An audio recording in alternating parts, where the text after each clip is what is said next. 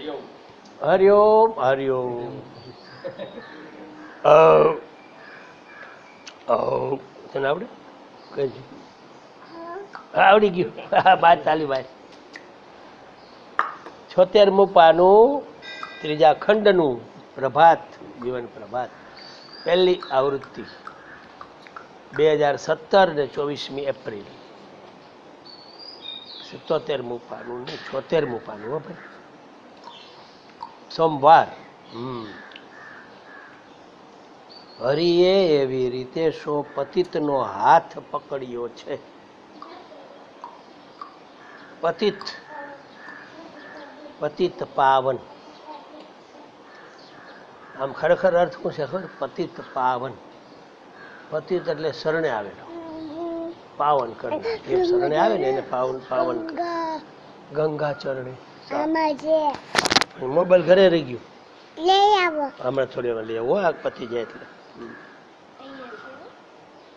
શરણે આવેલા નમ્ર પતિત. જેના મોહ મોહ આદિ ઘટી ગયા હોય પતિત કહેવાય. અને ગરીબ.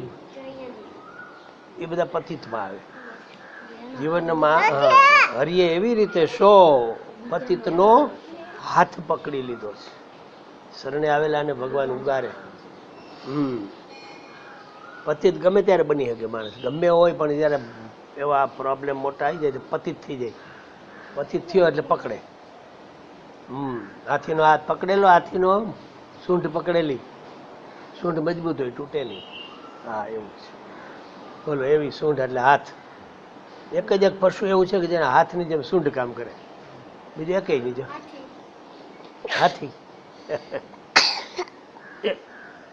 લાગી? નથી લાગી? મોબાઈલ ઘરે છે?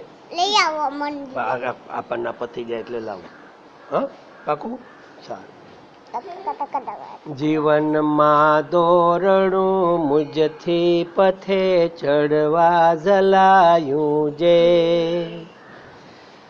લસર કોએ કદમ પથમાં શું ચિંતો અચાનક તે.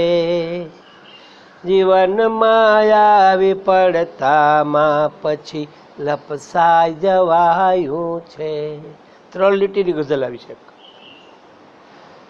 પડેલો સાવતળીએ હું ચઢેલાની નિશાની પણ રહી ના એક પણ જીવતી દશા એવી થયેલી છે. છતાં એવી વેળાએ જીવનના ધ્યેયને હૃદયે ગયેલો ના ભૂલી હું તો જજુમાં વાયુ જતેથી છે. પછી સાહસ ધીરજ, હિંમત, પછી સાહસ ધીરજ હિંમત હૃદય ઉદ્યમ વળી ખંત. કહીથી ફૂટી નીકળીને ચઢાવી શોધીધો પંથ.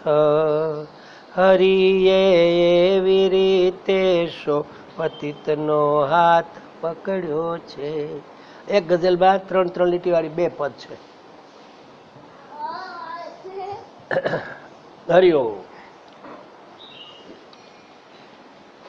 જેલું દે સાફ કરી લે નાક હળબળ કાંઈ હાલે નહીં એ બધું છડબડ ફળ. નાક મળું નાનક એવું નાક કોનું થઈ? ઓહો.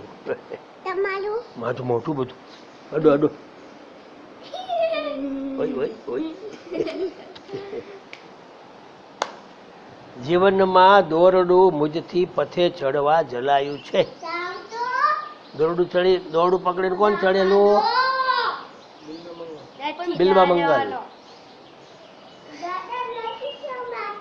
હે? નથી જગ્યા નથી અહીં અહીં અહીં બે ત્યાંથી અહીં બે જાય જો તો આગળ લો ટેબલ એમ છે.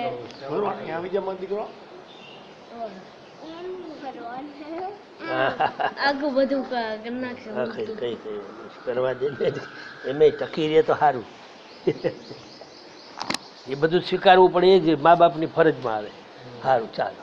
એ આરી પાસે શીખવા જેવું મને તો આશ્ચર્ય થાય નહીં. સ્વીકારતો હોય તો મારાથી થાય ને એટલો. હલી જાય તો તો માળખો મારે. બે છે ને એટલે બે જોટાળી બંદૂક છે એટલે. પહેલું હરખું થઈ ગયું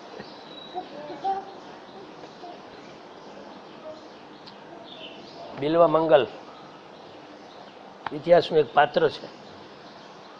એ એક વેસ્યા પાછળ એટલો દીવાનો થઈ ગયો. એના વગર ચાલે જ નહીં. આંધળો હતો ને? સુરદાસ, એ જ બિલવા મંગલ. એવડે પછી એક વખત નદીમાં રેલ આવી બરાબર ને. પેલા સામે કિનારે રહેવાનું, પેલી સ્ત્રીનું. પછી નદી તરીને ગયો એટલે આમ જોયું તો કે આહા સાપ લટકતા હતા સાપ. જય ગુરુ મહારાજ. ક્યાં જઈ ક્યાં જઈ આવ્યો? એક નોકરી મળી હતી દસ દિવસની. હમ મેં કીધું ક્યાં ગયો? જવાન આપી દીધી એટલે બેસી જાવ. સારું કર્યું.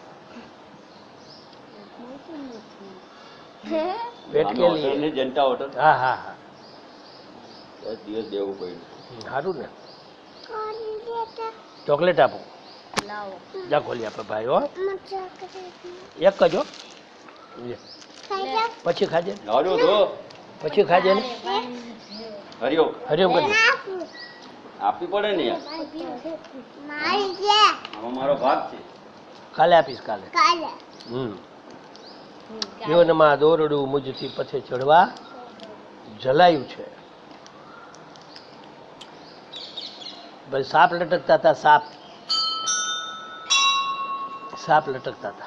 એને એમ લાગ્યું, આ પેલી સ્ત્રીએ મારા માટે કેવા દોરડા લટકાવ્યા ચડી જવા માટે. ઊંચું હતું ઘર. બોલો, એને ભાન નહોતું, એવો બેભાન અવસ્થામાં એ સાપને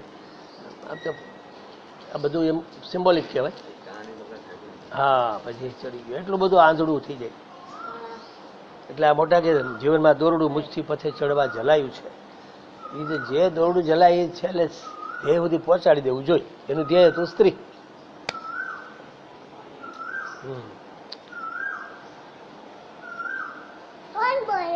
કોયલ? જા બતાય જા. જા કોયલ જોઈ આવ. આ ભાઈ આવે જા. હર્ષ જા. ચોકલેટ ખાઈને જાઓ. લસરકો એકદમ પથમાશ ઓચિંતો અચાનક તે જીવનમાં આવી પડતા પછી લપસાઈ જવાયું છે. એકવાર ચડાઈ તો ગયો મોટા છે પણ હાથ છૂટી ગયું. ભગવાનના માર્ગે ચડતા ચડતા કંઈ સીધું ચડી જવાય કેટલી વાર ચડ ઉતર થાય ત્યારે ઉપર ચડાય.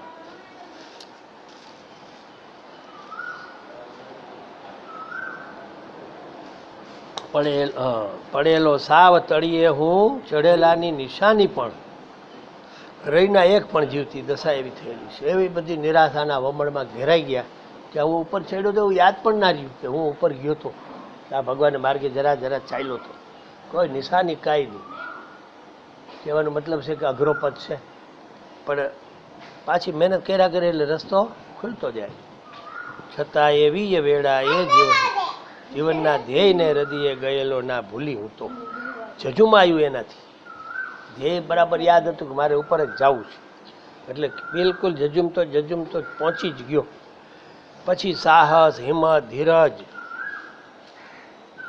હૃદય ઉદ્યમ વળી ખંત કંઈથી ફૂટી નીકળીને ચડાવી શોધીધો પંથે? જો આટલી વસ્તુની જરૂર પડે, રસ્તો ભૂલી ગયા હોય અને પાછા રસ્તે ચડવું હોય, તો આટલી વસ્તુ જોઈ સાહસ, હિંમત, ધીરજ અને પુરુષાર્થ. તો પાછા આપણે ચડી શકીએ. પછી સાહસ, ધીરજ, હિંમત, હૃદય ઉદ્યમ વળી ખંત કહીંથી ફૂટી નીકળીને ચડાવી? શોધીધો પથ, પંથ. કહીંથી ફૂટી નીકળીને ચડાવી? શોધીધો પંથ. એટલે હું ગાવાથી જે સ્પોટ થાય એ કહું. સમજણમાં જુદું આવે. સમજણમાં શું આવે કે રસ્તે ચડાવી દીધું? આ બીજી લીટીનો અર્થ એવો થાય, કહીંથી ફૂટી નીકળીને ચડાવી? શોધીધો પદ મારાથી ચડાયું નહોતું, પણ કૃપા ના બળે હું ચડી ગયો. કહીંથી કહીંથી? એટલે કૃપાથી, ભગવાનની કૃપાથી. હવે ગાઓ એટલે સમજાય. પછી સાહસ ધીમત ધીરજ, હૃદય ઉદ્યમ વળી ખંત. કહીથી ફૂટી નીકળીને ચડાવી શોધીધો પથ મારથી ચડાતું નહોતું, પણ કૃપાના બળ વડે હું પાછો ભગવાનના માર્ગે ચડી ગયો. હરિએ એવી રીતે શો પતિતનો હાથ પકડ્યો છે. એવી રીતે ભગવાન હાથ પકડીને મને દોરતો દોરતો લઈ જતો હતો. બોલો, આ ભગવાનના બની જાય તો કેવું થાય? આ ઉંમરમાં જલ્દી થાય એવું એ ઉંમરમાં થાય આમ ને આડાવડું બહુ થઈ જાય. એટલે બધું રાગ, દ્વેષ, મોહ, ક્રોધ, લોભ, કામ, ક્રોધ બધું એટલું હોય ને આમ. કે આપણને ભોગવવાનું મન થઈ એટલે પ્રકૃતિ આમાં આમાં રાખે. આમ જવા દઈએ નહીં. જો જુવાનીનો કાળ મોટા જે કેવો છે, ચોમાસા જેવો. જ્યાં જ્યાં દાણા ફેંકો ત્યાં ઉગે. જુવાની એવી છે. ઉનાળામાં ઉગે અમારે ઉનાળો આવ્યો. ઘરડા થઈ ગયા એટલે ઉનાળો આવ્યો સાહેબ. પ્રૌઢ ઉંમર કઈ ને કહેવાય? પ્રૌઢ. આઠ વર્ષ સુધી પ્રૌઢ. સાઠ પછી ઘરડા પ્રૌઢ બાદ દસ બાર વર્ષ હોય. પિસ્તાલીસ, અડતાલીસથી ગણાય થોડું અને સાઠ પ્રૌઢતા પૂરી થાય. પછી ઘડપણ આવે. ઘડપણ આવે પંચોતેર સુધી. પછી તો હું આવે સવાર. પથારી આવે. ઘરડાઈ લાગે હવે હવે મરી જાય એવા. હા, એ તો હરખા હરખા છે ભાઈ. નવો ટ્રેક આવ્યો મયુર.